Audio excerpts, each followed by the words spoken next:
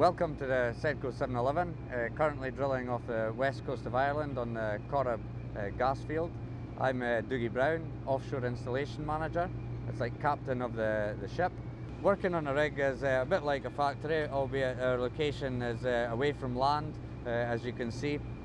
So we have to get our logistics in order up front and pre-plan everything very well for the operation to go smoothly. The work that's taking place here at the Corrib field is the placing of the subsea technology on the seabed, and that is the equipment that will allow the gas that's in the reservoir to be brought ashore for processing at the Bellanaboy terminal. To date, 125 million euro has been invested in this offshore part of the project between the work that took place in 2006 and the program that's taking place during 2007. Ireland imports about 85% of its gas, and more than half of our electricity is generated from gas. Now, most of that, as I've said, is coming from England, Europe, and further afield, places like Russia and other parts of the world. So, the strategic importance of Corrib gas is huge because we import so much of our gas at the moment. This unit's used for drill support and basically she's capable of going down to 2,000 metres, this vehicle can do. So we're also an eyeball, we can visually check things out for them. We can check the seabed for contamination, stuff like that. Okay, the ROV is now underwater at a depth of about 340 metres. Well, basically, we've got on the sub, we've got um, hydraulic control manipulators as well. So there's two of those, and one of them's got seven functions. So you think of it as your own arm. So these are hydraulically controlled uh, grabbers. That's a grabber, five function grabber, and we can take a hold of things and we can move things, do whatever we need to do with them down there.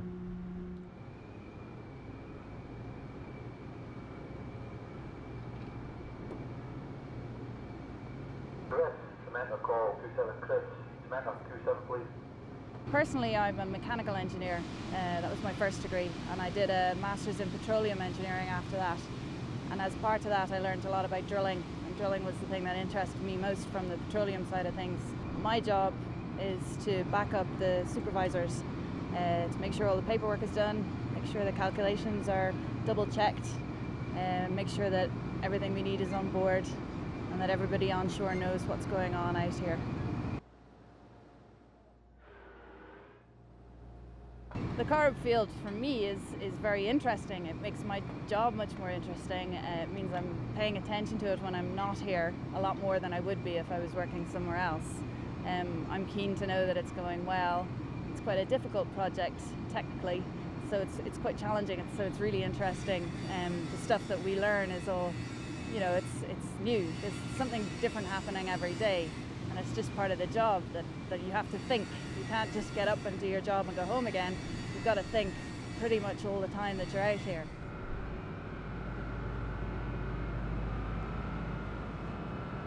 We are at the moment, we're 35 kilometres from the nearest land, Sligo I think it is, and the, uh, the supply vessel, which basically brings all the daily supplies that we need, uh, the food, um, all the stuff we use in the accommodation, the drilling supplies, and it, that runs in and out of Killybegs approximately every couple of days.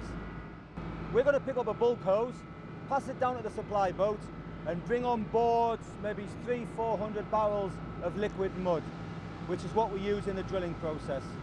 We bring the water, food, all the necessities for the crew inside the accommodation, all the tubulars that we need, the drilling mud, uh, diesel for the engines, uh, and it also has to take all our waste back as well.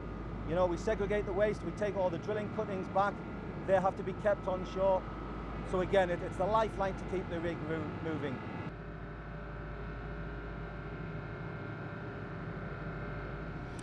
Last year we completed two wells. Uh, they were already drilled by Enterprise quite a long time ago.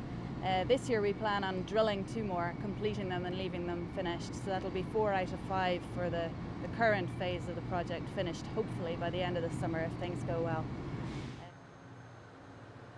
Uh, Corrib is important to Ireland because uh, it's, it's always good to have your own energy source. It's, it's good not to be depending on someone over Eastern Europe blocking the lines and saying, no, you can't have any more. I'm very proud to be here, to be honest. Um, I'm never embarrassed to say I work out here. Uh, I love telling people I work here. My mother loves telling people I work here, and uh, it feels good. It feels really good. I feel like I'm, I'm actually doing something worthwhile.